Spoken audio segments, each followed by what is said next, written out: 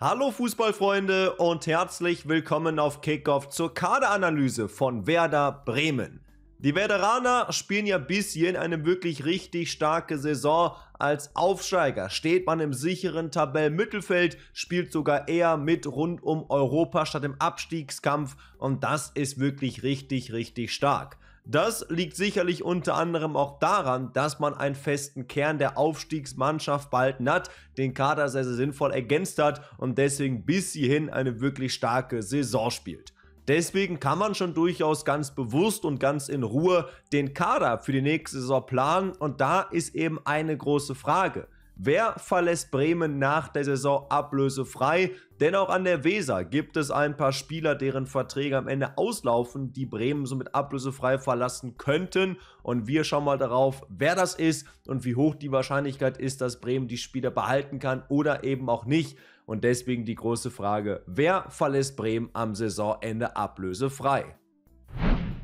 Kurz vor diesem Video wurde die Vertragsverlängerung von Michael Zetterer bekannt gegeben. Der zweite Keeper bleibt an Bord, sonst wäre der natürlich auch noch mit hier reingerutscht und damit bleiben noch drei Spieler und wir legen los mit Anthony Jung.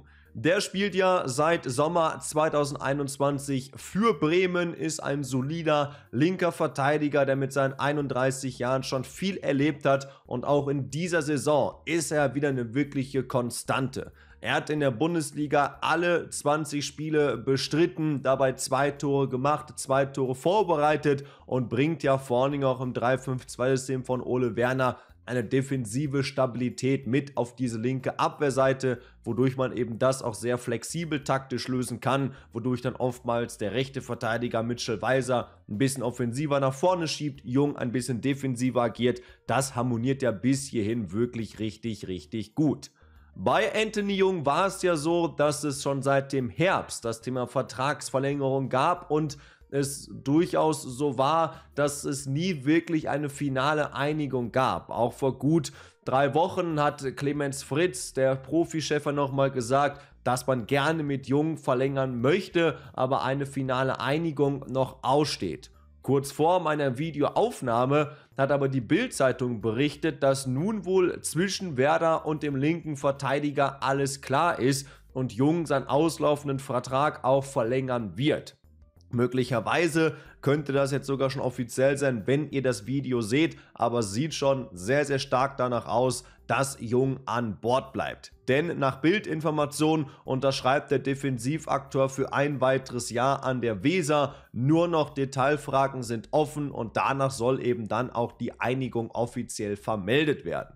Vorausgegangen war ja ein Vertragspoker, wo es eigentlich für Anthony Jung auch sehr, sehr wichtig war, um zwei Jahre zu verlängern. Das hat aber eben jetzt noch nicht funktioniert. Er bleibt erstmal ein Jahr an Bord und das lag eben auch unter anderem daran, dass Bremen natürlich ganz genau weiß, was sie von Jung haben, aber sich eben auch auf dem Markt nach Alternativen umgeschaut haben. Maxi Mittelstädt von Hertha stand wohl im Fokus, war ja mal zwischendurch eben auch für den Sommer ablösefrei zu haben vor seiner Vertragsverlängerung. Auch bei Leat Paccarada von St. Pauli hat man wohl angefragt. Der hat dann bei Köln unterschrieben, sprich, man hat keinen neuen Akteur für die linke Seite gefunden und auch deswegen sind die Bremer am Ende eben dann lieber bei Anthony Jung geblieben, der eben die solide, erfahrene Lösung für links hinten ist, der auch flexibel ist und auch mal als Innenverteidiger spielen kann und deswegen sicherlich auch sinnvoll, hier den Vertrag um ein weiteres Jahr zu verlängern. Wie gesagt, Jung hat sich einen Zweijahresvertrag gewünscht, gibt sich aber nur mit der kürzeren Laufzeit zufrieden und hier steht wohl eine Einigung jetzt auch kurz bevor. Denn wer das plant, sieht hier auf jeden Fall vor, dass Jungs Backup Lee Buchanan eben dann auch im Laufe der nächsten Saison zu einem geeigneten Nachfolger heranreift und bis dahin wird eben Jung auch weiter die linke Seite beackern. Hier ist eine Vertragsverlängerung kurz vor dem Abschluss. Eine sehr interessante Personalie für dieses Video ist sicherlich Jean-Manuel Mbom. Der ist ja gerade mal 22 Jahre jung, deutscher U21 Nationalspieler und das sind ja eigentlich schon Faktoren, die ihn erstmal grundsätzlich zu einem sehr interessanten Spieler machen. Er stammt ja aus der Bremer Jugend, ist natürlich auch noch ein flexibel einesbarer Mittelfeldspieler, der auf der rechten Abwehrseite spielen kann Und da würde man natürlich von den Reihenfaktoren sagen, eine Vertragsverlängerung müsste ja eigentlich nur eine Formsache sein. Du hast einen flexiblen Spieler, einen jungen Spieler mit Potenzial aus dem eigenen Nachwuchs. Was willst du mehr? Problem beim Bomben, und das zieht sich ja schon durch die vergangenen Jahre, ist aber einfach sein Verletzungspech. In der laufenden Saison hat er in der Bundesliga keine einzige Minute spielen können. Jetzt war er wohl wieder fit, hat aber erneut eine Muskelverhärtung in der Wade und konnte deswegen auch vor dem Dortmund-Spiel nur individuell trainieren. Also es läuft einfach überhaupt nicht rund bei Bomb. Und da muss man sich natürlich dann auch als Verein meiner Meinung nach die Frage stellen, inwiefern es denn rein sportlich gesehen Sinn macht, diesen Vertrag zu verlängern. Noch einmal, das Profil von Bomb ist unglaublich interessant und davon bin ich auch weiterhin überzeugt. Aber Natürlich hast du eben auch im Kader Spieler, wie zum Beispiel auch ein Salifu oder auch aus der zweiten Mannschaft ein Berger, die möglicherweise jetzt auch im Laufe der Rückrunde Spielpraxis bekommen. Du hast mit Christian Groß nochmal den Vertrag verlängert, mit Ilya Grujew jemanden, der sich richtig gut gemacht hat und dann eben einem Bomb, der auf seiner Position natürlich zum einen eben jetzt ordentliche Konkurrenz hat, sich auf der rechten Abwehrseite jetzt auch nicht zwingend am wohlsten fühlt und deswegen sich eher im Zentrum sieht und dann natürlich dann die große Frage ist, inwiefern macht das denn Sinn für die Zukunft? Für einen Bomb ist nämlich meiner Meinung nach eine Sache in der kommenden Saison ganz, ganz wichtig und das ist Spielpraxis. Deswegen könnte ich mir auch vorstellen, dass Bremen den Vertrag möglicherweise um zwei Jahre verlängern wird und dann zum Bomb sagt, wir verleihen dich direkt vielleicht in die zweite Liga oder ins Ausland, damit du einfach sehr, sehr viel spielen kannst weil ich glaube nicht, dass er sich bei Bremen in kürzester Zeit zu einem Stammspieler entwickelt, weil dafür ist, wie gesagt, die Konkurrenz zu groß. Er war einfach zu lange verletzt und deswegen ist womöglich diese Saison eh schon so ein bisschen gelaufen für ihn eine sehr spezielle Personalie. Da bin ich auch mal sehr gespannt, was ihr Fans und erst recht natürlich auch ihr Bremer dazu sagt, wie man möglicherweise an der Weser mit ihm plant. Ich habe mich mal ein bisschen umgehört, habe wenig zu der Personalie gefunden, was eine Vertragsverlängerung angeht. Da ist es schon sehr, sehr ruhig geworden. Wenn man mich jetzt fragen würde, was ich denke, würde ich spontan sagen, eher Abgang als Verbleib.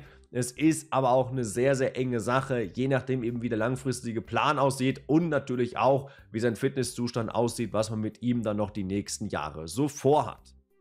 Und dann kommen wir auch schon zur letzten Personalie in diesem Video, denn bei Bremen laufen relativ wenig Verträge aus. Trotzdem wollte ich Werder mal gerne analysieren und deswegen haben wir natürlich auch noch Maximilian Philipp hier mit dabei. Denn logischerweise auslaufender Vertrag zählen auch die ausgeliehenen Spieler zu und das ist eben in diesem Fall Maximilian Philipp vom VfL Wolfsburg. Er ist ja im Winter vom VfL gekommen, kurz vor Transferschluss, nochmal als weitere Alternative für die Offensive, hat ja nur noch gegen Dortmund sein Debüt gegeben, wurde für ein paar Minuten eingewechselt und bringt natürlich Ole Werner rein offensiv nochmal eine richtig gute Flexibilität und Qualität auch mit. Er selber stand ja eigentlich kurz am Wechsel zur Hertha, bedingt durch das Bobic aus, ist das aber dann gescheitert. Es gab die Anfrage von Bremen, er hat sich mit dem Angebot beschäftigt, sich wohlgefühlt und deswegen die ganze Sache auch gemacht. Für mich eine Win-Win-Win-Situation für die Rückrunde für alle drei Parteien.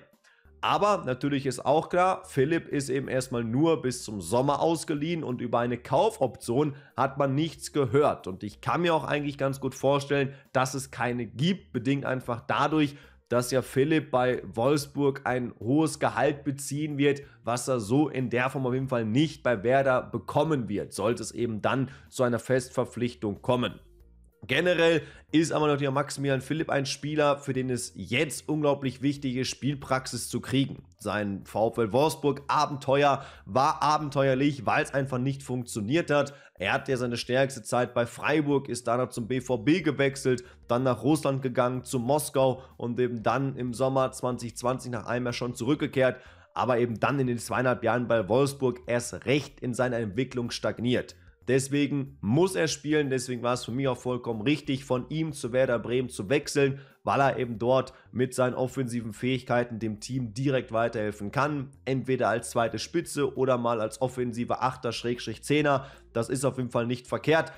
Mal gucken, wie es da dann im Sommer weitergehen wird. Ich würde auf jeden Fall hier sagen, dass Stand jetzt erstmal ein Abgang das wahrscheinlichste Szenario ist. Aber ich auch überhaupt nicht ausschließen würde, dass man dann im Laufe des Sommers nochmal einen neuen Deal aushandelt. An einen fixen Kauf denke ich hier einfach noch nicht, weil dafür einfach Philips Gehalt zu hoch ist, aber weil ja sein Vertrag in Wolfsburg noch bis 2025 läuft, könnte man ja sogar die Laie um ein weiteres Jahr verlängern. Und das ist meiner Meinung nach ein Szenario, was nochmal ein Ticken realistischer ist. Und nun kommen wir nochmal zur Übersicht. Verbleib ja oder nein, wer bleibt bei Bremen, wer geht im Sommer. Wir haben drei Spieler, bei einem sieht es sehr, sehr gut aus. Anthony Jung wird laut der Bild-Zeitung seinen Vertrag verlängern. Wie angerissen könnte es auch sein, wenn ihr das Video seht, dass das ganze Ding auch schon offiziell ist. Ansonsten haben wir mit Jean-Manuel Bomm und Maximilian Philipp noch zwei weitere Personalien, wo meiner Meinung nach alles passieren kann. Beim Bomm hängt es einfach davon ab, wie wer das selber mit ihm plant. Für mich, wie gesagt, das Szenario, was vielleicht am meisten Sinn ergeben könnte, wäre eine Vertragsverlängerung um zwei Jahre mit einer direkten Ausleihe in eine etwas schwächere Liga, damit ein Bomb in der nächsten Saison einfach viel Spielpraxis sammelt. Bei Maximilian Philipp kann ich mir auch einen längerfristigen Verbleib vorstellen. Das hängt aber sicherlich auch davon ab, wie es vielleicht auch im Sommer mit Niklas Füllkrug weitergeht, ob man dann vielleicht rein finanziell noch ein bisschen mehr machen kann, wodurch man ihn vielleicht auch fest verpflichten kann. Eine weitere Laie um ein weiteres Jahr ist natürlich auch gut möglich, aber hier hängt es natürlich auch davon ab, wie Philipp sich in der Rückrunde entwickelt. Kommt da ohnehin nicht auf viel Spielzeit, da wird man das Kapitel im Sommer wieder beenden. Spielt eine ganz gute Rolle, kann ich mir eine Live-Verlängerung ganz gut vorstellen. Stand jetzt, eben auch aufgrund der vertraglichen Situation, glaube ich, wird er erstmal zum VfL Wolfsburg am 1.7. zurückkehren, aber auch eine erneute Rückkehr dann zu Werder Bremen würde ich auf jeden Fall nicht ausschließen. Und somit war das mal meine kurze, knappe Kaderanalyse zu Werder Bremen. Wie gesagt, es gibt andere Mannschaften, wo deutlich mehr Verträge auslaufen, auf die wir natürlich auch hier in dem Format nochmal gucken. Ihr könnt auch sehr, sehr gerne weitere vorschlagen. Aber ich finde Werder Bremen für solche Analysen immer wieder interessant, weil es eben auch dort viele von euch gibt, die sehr interessiert an Werder sind. Deswegen könnt ihr mal gerne eure Meinung in die Kommentare schreiben. Was denkt ihr? Wer bleibt? Wer geht? Mit wem würdet ihr verlängern? Mit wem nicht? Und dann sehen wir uns hier im nächsten Video wieder. Macht es gut, ciao und bleibt am Ball.